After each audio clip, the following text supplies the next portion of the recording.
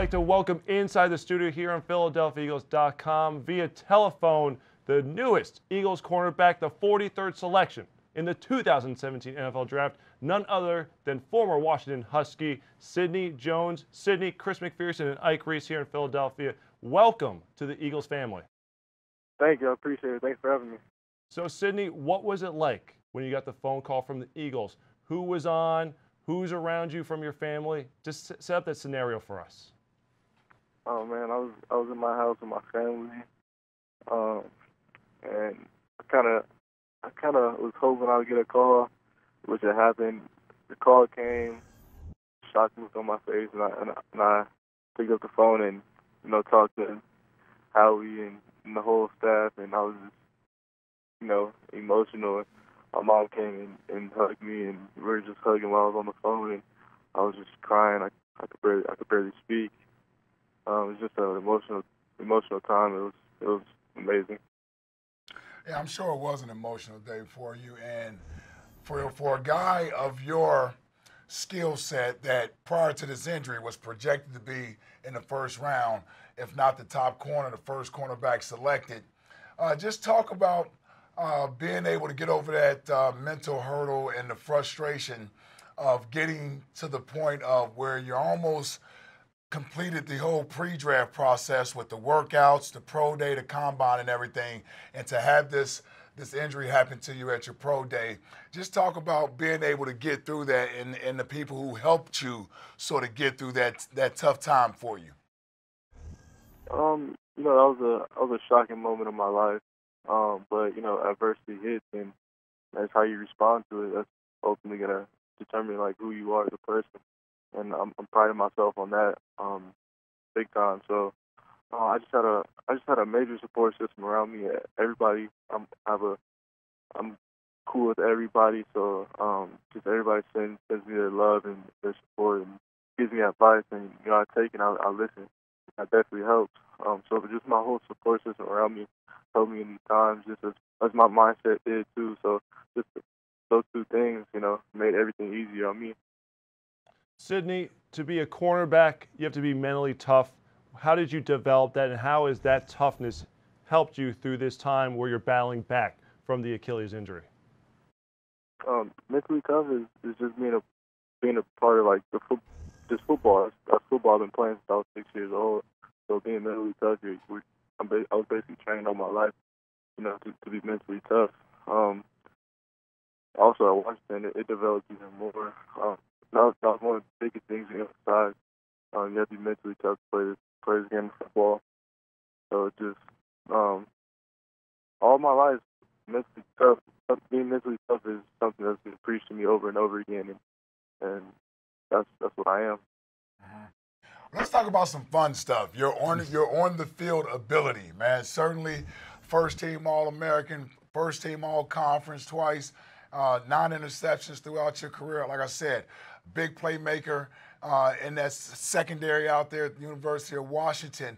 What are some of the things uh, that you do well that make you one of the uh, top corners coming out in this year's draft? What's some of your strengths uh, as a cornerback? Uh, man-to-man coverage, press, um, very competitive. I, I, have great ball skills. Um, you know, I, I like I like to have that ball uh, get back in the hands of my offense. So that's one of the things I, I, I pride myself on, and you know, Washington prides itself on too. So um, that's that's not going to change. So hopefully, you know, when I get on that field, yeah, I was making I was making turnovers and getting interceptions and forced fumbles like I've always done. Yeah. When when you look at your game, who would you say your game most uh, uh, resembles, or, or, who do you sort of pattern yourself uh, after if there's anybody in the NFL right now? Uh, I don't pattern myself as anybody. I'm, I believe I'm my own player. Um, I don't believe anybody. You know, I want people to look at me like I don't want to play like play like him. Um, but I don't, I don't begin with myself after anybody in this league. I'm my own player. Sidney, you played wide receiver as well as defensive back in high school. How have those wide receiver skills helped you become a top tier cornerback at the collegiate level? Um, just going back to those nine interceptions, um, that's you gotta have hands to you know get those interceptions. You know, everybody doesn't get a whole bunch of interceptions, and that's possibly because they don't have you know the skill set in that area.